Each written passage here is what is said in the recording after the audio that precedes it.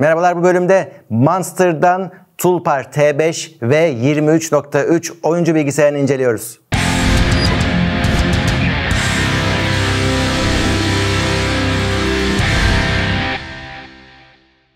Master laptopları incelemeye devam ediyorum. Yine tabii ki odağımız oyun. Oyun olunca da odağımız tabii ki ne oluyor? GPU. Burada ekran kartımız Nvidia GeForce 40 serisine geçmiş durumda. Zaten biliyorsunuz bir geçiş dönemindeydik. 30 serisinden 40'a geçilmişti. İşte bu bilgisayar o geçişin tamamlandığı modellerden bir tanesi. Artık seneyi bitirmeye yaklaştık. Her senenin sonu alışveriş dönemidir. Önce zaten okula dönüş başlar. Daha sonra da işte kampanyalarda oydu buydu derken bir de tabii yeni senede zamlar geleceği için birazcık acele ederiz. İşte o dönemlerde tabii ki alışveriş de kızışıyor ve laptop alımları da o dönemde artıyor. Önümdeki laptop da güncel konfigürasyonuyla tam bu döneme yakışacak bir laptop. Ekranda genel özellikleri de görüyorsunuz. Zaten ürünün linki aşağıda olacak fiyatıyla beraber oradan da bakabilirsiniz. Biz incelememize GPU'dan başlıyoruz. GPU seçiminde iki tane kriterimiz var. Birisi model, diğeri de nesil. Bu ne demek? Mesela 30 nesli diyoruz, 40 nesli diyoruz. Burada artık iki tane nesil arasında özellik farkı var demek bu. Yani bazı şeyler yani 40 neslinde olan şeyler 30 neslinde olmuyor. Nesli seçtikten sonra da modeller başlıyor. İşte 4060, 70, 80, 90 dediğimiz zaman da modellerin kendi arasındaki e, özellik farkları devreye giriyor. Ama buradaki olay şu. Eğer ki 40 nesline geçtiyseniz artık 60, 70, 80 arasındaki özellik farkları değişmiyor. Yani 40 nesliyle gelen bir şey varsa örneğin DLSS versiyonu olabilir, Frame Generation örnek olarak söyleyebilirim.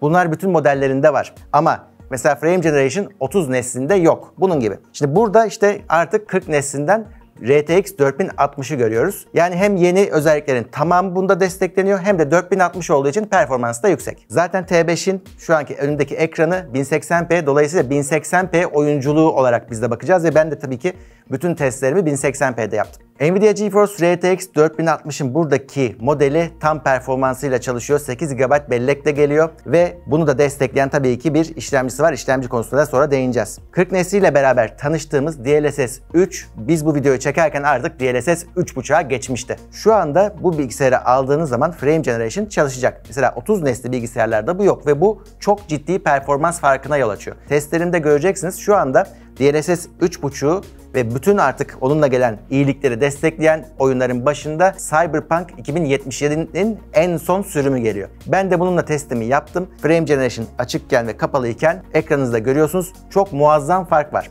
Bazı oyunlarda buna ihtiyacınız kalmadan hatta DLSS'e bile ihtiyacınız kalmadan 1080p'yi direkt oynayabilirsiniz yüksek FPS ile ama özellikle 2077 gibi grafiğe çok yüklenen oyunlarda Frame Generation bir anda çok ciddi fark yaratıyor ve 60 FPS'yi bulamayan bir oyun bir anda bırakın 60'ı işte 100 FPS'leri bulmaya başlıyor. Şunu da unutmayın T5'in ekranı 144 Hz. Aslında yani biz ideal oyun keyfi için bunda FPS'lerin 100 ve 144'e yakın olmasını isteyeceğiz. İşte orada zaten DLSS ve Frame Generation bunu bize sağlıyor. Burada aynı zamanda Ray Tracing'in de son versiyonu var artık DLSS 3.5'la beraber. Bu ne demek? Burada da işte bu ışınların yansımasının gerçekçiliğiyle uğraşıyorlar ve daha güzel gözükmesiyle uğraşıyorlar. Artık şeyi geçtik. 40 nesliyle beraber ya Ray, Ray Tracing'i açsak mı açmasak mı diye bir derdimiz kalmadı. Açıyoruz. Artık açtıktan sonra kalitesini nasıl arttırabiliriz? Artık bu noktadayız. Çünkü epey bir süre geçti zaten Ray Tracing ile çalışıldı ve her geçen nesilde bunun performansı da artıyor. işte kalitesi de artıyor. Tabi bu desteklerin hepsi oyunun içinde varsa çalışıyor. Ray Tracing oyunda olacak, DLSS oyunda olacak ama Nvidia'nın artık bu destek listesi, oyun destek listesi çok kabardı. Hatta artık nadiren DLSS desteklemeyen oyun görüyoruz. Pek kalmadı gibi bir şey.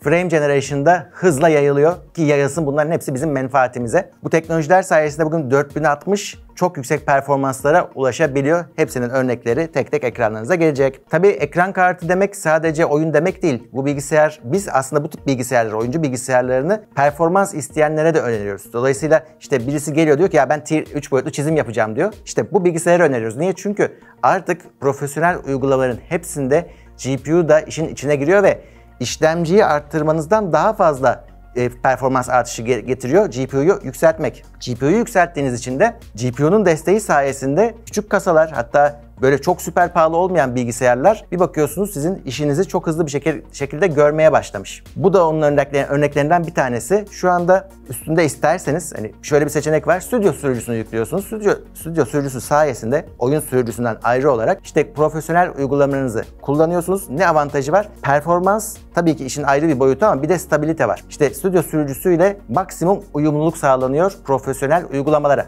Benim de çok kullandığım Nvidia Broadcast mesela. E, bunu hemen kullanabilirsiniz. Önümüzdeki laptopun donanımıyla çalışıyor ve işte arka plandaki gereksiz şeyleri anında furu yaparak uçurma. Bunda çıktığı günden beri en iyi uygulamalardan bir tanesi ama Nvidia şunu yapmıyor. İşte ben ekran kartını yaptım, broadcast uygulamasını yaptım, kullanın. Öyle tabii ki kullanabilirsiniz ama aslında sektöre örnek oluyor. Diyor ki bakın bu, bundaki potansiyel bu. Ne yapıyor daha sonra OBS? Aa diyor evet bu güzel bir şeymiş. Bunu hemen içine entegre ediyor. Siz artık broadcast'i direkt kullanmasanız bile OBS'in içinde kullanabiliyorsunuz çünkü geliyor. Bunun gibi Nvidia'nın da birçok uygulaması var. Canvas ya da Omniverse tarzındaki uygulamalar yapay zeka kullanılarak işleri hem hızlandırmak hem basitleştirmek yönünde birçok olanak sağlıyor ve bunları da biz daha sonra işte hepsinin profesyonel uygulamalarda eklenmiş hallerini göreceğiz. Zaten şu anda da birçok uygulama destekliyor ama sürekli hani daha ne yapabiliriz? Çünkü yapay zeka kısmı birazcık daha hala keşfettiğimiz bir kısım. E, Nvidia da bu konuda zaten öncü olan firma.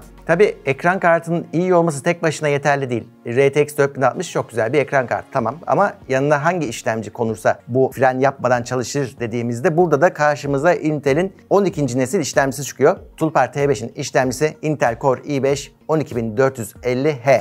4 performans çekirdeği var, 4 tane de efficiency core var ve hyper threading ile beraber hepsini topladığımız zaman 12 izlek ediyor. 4 artı 4 şeklinde çalışıyorlar. Performans gerektirmediği zamanlarda işte 4 tane o efficiency core dediğimiz çekirdekler devreye girip size pil tüketiminde avantaj sağlıyor ki bu bir laptop olduğu için bu çok önemli. Performans çekirdekleri 4.4 GHz'e kadar çıkabiliyor. Efficiency core'larda onlarda 3.3 GHz'e kadar boost edebilme kabiliyetleri var ama bu o hızlara çıkacakları anlamına gelmiyor. Özellikle tam yükteyken genelde bu maksimum boost hızlarına ulaşılmaz. Benim testlerime göre performans çekirdekleri 2.6, efficiency core dediğimiz daha ekonomik işlemci derse 2.3 GHz hızına çıktı tam yük altında. Ama oyun oynadığınız zaman hiçbir zaman bunlara tam yüklenemediğiniz için orada 4 GHz'in üzerine 4 hatta benim testlerime göre 4 1.1 GHz'i rahat rahat görüyor bu sistem. Ekrana flir testini de gö- göstereceğim. Yük altındayken neye benziyor, nasıl size bir ısı haritası göreceksiniz. Orada sizin aslında elinize değen kısmın ne kadar ısındığı önemlidir. Çünkü işlemci zaten kendi kendini hallediyor. Eğer çok fazla ısınırsa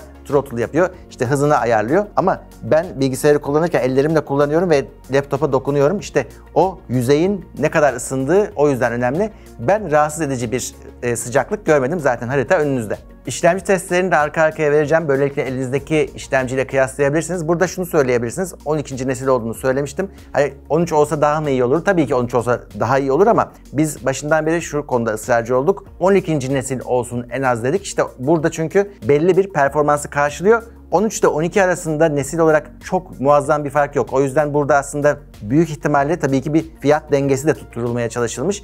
12. nesil kullanılan işte bu Core i5 işlemcisinin performansı RTX 4060'ı bence gayet güzel dengelemiş. Bunu nasıl anlıyoruz? Bunu anlamak için yaptığımız testlerde oyunları düşük ayarlarında çalışıp çalıştırıp ekran kartını aradan bir çıkartıyoruz. Böylelikle işlemci ekran kartına takılmadan gaza basıyor ve yüksek FPS veriyor. İşte o yüksek FPS'nin kaç olduğuna bakıyoruz. Bunu da ekranınızda şimdi göreceksiniz. Rainbow Six ile yapıyorum. Çünkü orada çok yüksek FPS'yi zaten normalde de alıyoruz ama işte işlemci ne kadar basabilecek onu görüyoruz ve burada işte 250 FPS'lere kadar fırlıyor. Yüksek ayarlarına geçirdiğim zaman da performans çok fazla düşmüyor. Zaten 1080p için RTX 4060 bayağı yeterli. Dolayısıyla burada şunu anlıyoruz. İşlemci burada ekran kartına fren yapmamış. Aynı testleri mesela strateji oyunlarında da yapıyorum. Çünkü o da işlemci ekranda aynı anda çok fazla birim olduğu için bakar. E orada da ekran kartını aradan çıkardığımda yüksek FPS alabiliyorum. Onun için de Warhammer testini yapıyorum. Görüyorsunuz ekranda. Orada da ekran kartı ayarlarını yükselttiğimde performansın yine yüksek kaldığını göreceksiniz ama işte o az önceki işlemci limitine falan takılmıyor. Yine orada ekran kartı söz sahibi oluyor. Bunlar tabii rekabetçi oyunlarda önemli olan şeyler. İşte 144 Hz'lik bir monitör var önünüzde hem de IPS panel güzel bir monitör. Orada işte tam ideal şekilde oynamak için FPS'yi yükseltmeniz gerektiğinde gerekirse işte ekran kartı ayarlarına ince ayar yaparsınız. İşlemci hemen o size gerekli olan performans desteğini verir. Ekstradan Nvidia'nın refleks özelliğini de mutlaka aktif edin. O da gecikmeleri aza indiriyor. Böylelikle hani toplam bizim bir gecikme süremiz var. Onu nereden kısarsak o kadar iyi. İnternet bağlantımızdaki milisaniye de gecikme ekranın tazelemesi de gecikme. İşte ekran kartı ve işlemci arasındaki konuşma da bir gecikme. İşte bu refleks oradaki ekran kartı işlemci arasındaki konuşmayı hızlandırıyor gibi düşünün. Onu da mutlaka açın. Hikaye bazlı oyunlarda hedefimiz biraz daha hani 60 FPS'ye kilitlenmek olabiliyor. Bu bilgisayar için zaten çok fazla bir iş değil. Onu başarabiliyorsunuz. Red Dead Redemption'ı hala kullanıyorum. Ee, oyun, onun grafikleri hala bence birçok oyundan daha güzel ve bilgisayarları da çok zorlamaya devam ediyor. Pek bir ayar kısmadan 60 FPS'yi rahat rahat yakalıyorum. Yakalayamadığım her anda zaten DLSS devreye giriyor ve DLSS'i açarak yine yüksek FPS'yi alabiliyorum. Burada da performans mı olacak de kalite mi seçelim diye bir ayar biliyorsunuz onların oluyor. Size kalmış mesela F1.23 var. Ray Tracing'i de açıyorum. DLSS'i de açıyorum. Ben mesela onu kalite ayarında bıraktım. Çünkü yeterli FPS'yi aldım. Ya daha da hızlansın. Ben bu daha en hızlısını istiyorum dediğiniz zaman işte o zaman performans seçeneklerini de değerlendirebilirsiniz. Ya da Doom gibi böyle çok hızlı akması gereken oyunlarda da yine işte 144 Hz'i de bulmak istiyoruz diyelim. Yine Ray Tracing açıkken bile yüksek FPS'yi alabiliyorsunuz. 4 FPS üzerine de çok rahat çıkabiliyorsunuz. Yine onda da isterseniz DLSS'i açabiliyorsunuz. Bunun dışında sistemde 16 GB DDR4 bellek bulunuyor. DDR4 3200 500 GB M2 SSD'si var. Bunun performansını ekranda göreceksiniz. Performansı yeterli de 500 GB alan hızlıca doluyor günümüzde. O yüzden bunun içinde ikinci bir M2 slotu daha var. İlk etapta böyle alırsınız. Daha sonra e, istediğiniz bir M2 ile upgrade edersiniz. İşletim sistemi FreeDOS. Bunun Windows'unu kendim kurdum. Siz de e, alırken kendiniz kuracaksınız.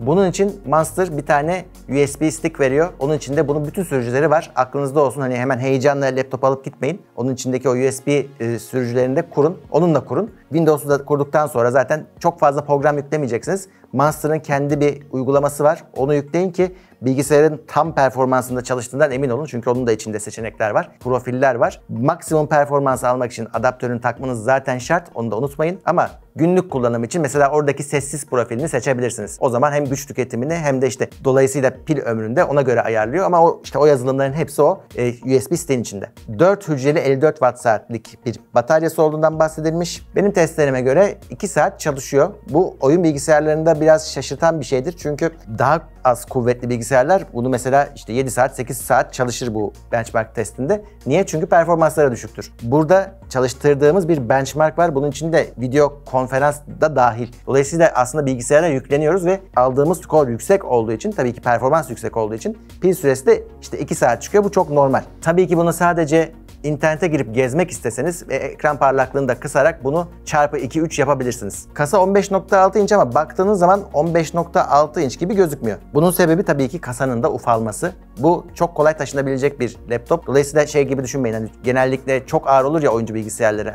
Onu böyle istasyon gibi kullanırsınız. Yerinden kalkmaz etmez öyle değil. Bunu yanınızda taşınacak bir günlük kullanım bilgisayarı olarak da rahatlıkla düşünebilirsiniz. Ağırlığı da zaten 2 kilo ki bahsettiğim o ağır bilgisayarlarda neredeyse 3 kiloya yakın ağırlıklar oluyor. Genelde 2-7-2-8 kilo arasında olur. Bu 2 kiloluk ağırlığıyla o konuda da sizi çok fazla yormayacak. Zaten taşıma çantasında Monster veriyor. Size bakan kısımda arka tarafta tabii ki adaptörle başlıyoruz portlara. Yanında DisplayPort ve onun yanında HDMI çıkışı var ve burada bir tane de Type-C'yi görüyorsunuz bitmiyor. Yan tarafında bir Type-C daha var ve burada da micro SD kart okuyucusu var yanında. Şurada da Ethernet bağlantısını görüyorsunuz. Diğer tarafında da iki tane Type-A konmuş ve mikrofon kulaklık çıkışları da işte burada ayrı. Klavye ve touchpad'i kullanmakta herhangi bir sorun yaşamadım. Onunla ilgili ekstra bir vereceğim not yok. Sadece klavyenin RGB olduğunu ekstra olarak söyleyeyim. Toolbar olmasından ya T5 olmasından farklı olarak Monster olmasından kaynaklanan da özellikleri var. Bir defa ömür boyu ücretsiz bakım garantisi çok önemli bir şey. Çünkü bize gelen e, sorulardan bir tanesi şu işte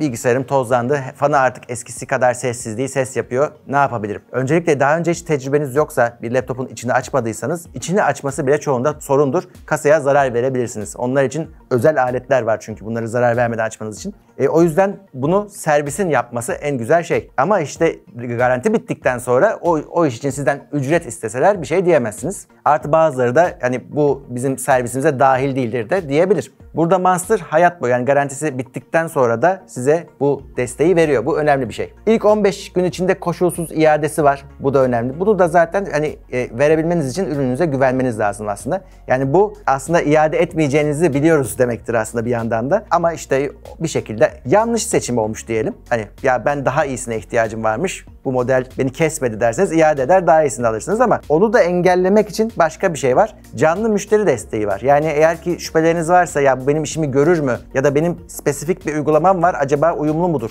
RTX 4060 buna yeter mi? Böyle e, içinizde herhangi bir şüphe varsa direkt Monster'la dijital dükkan diyorlar buna. İletişime geçin size yardımcı oluyorlar. Yine benim için önemli kriterlerden bir tanesi 30 gün içinde tek bir ölü piksel dahi çıksa garanti kapsamında yine değişiyor. Ölü pikselli laptop çok rastladığım bir şey değil ama teknolojinin doğası gereği olmayacak işte değil. Özellikle monitör olanlar bilirler başları derde giriyor. Diyelim ki oldu ölü piksel çıktı ne yapıyorsunuz? Götürüyorsunuz paneli yenisiyle değiştiriyorlar sorgusuz sualsiz. Biliyorsunuz ben videolarda artık fiyat söylemiyorum çünkü piyasa koşulları sürekli değişiyor. Onun yerine linkini veriyorum kendiniz bakıyorsunuz. Tabii ki rakipleri rakipsiz bir ürün falan değil. Hepsinin kıyasını yapın. Ben performans sonuçlarını elimden geldiğince veriyorum ve ücretsiz uygulamalarla yapmaya çalışıyorum ki elinizdekiyle de kıyaslayabilin. Hatta işte sizi şeye teşvik etmeye çalışıyorum. Yorumlara mutlaka elinizdeki mesela işlemcinin aldığı performansı yazın işte. Cinebel işte şunu alıyor diye yazın ki bununkiyle de kıyaslanmış olsun. Alanlara faydası olsun almak isteyenlere. Bu ürünle ilgili çekinecek pek fazla bir şeyiniz yok. Bence